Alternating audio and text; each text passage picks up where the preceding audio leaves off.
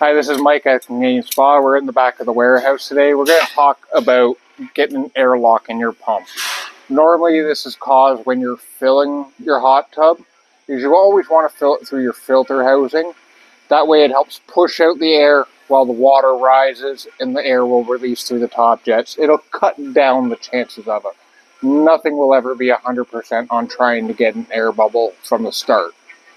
Now, a first option is your could be your filter could be clogged and it's just not sucking through. So a good option is try starting it without the filter inside of it.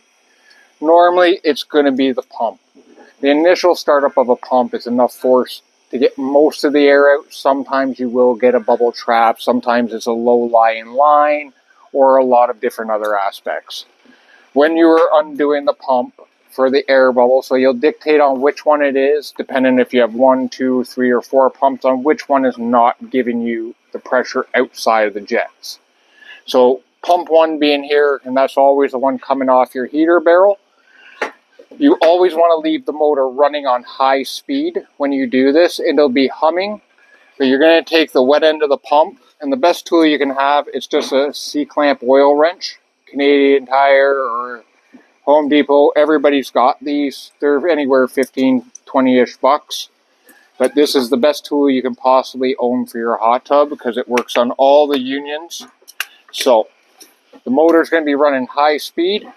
All you're going to do is loosen off this union just till you see a little bit of water trickle out through the bottom here. You're not going to want to take it right off. Just enough that the water is coming out through the bottom.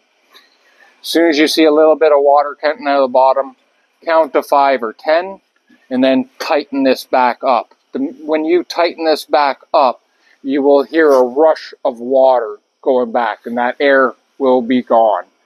Sometimes it'll take a couple of times to do this. The only thing you want to make sure is you do not loosen this one. If you loosen this one with water inside of it, it's going to leak water over the AC part of your motor, which will cause some problems in the future.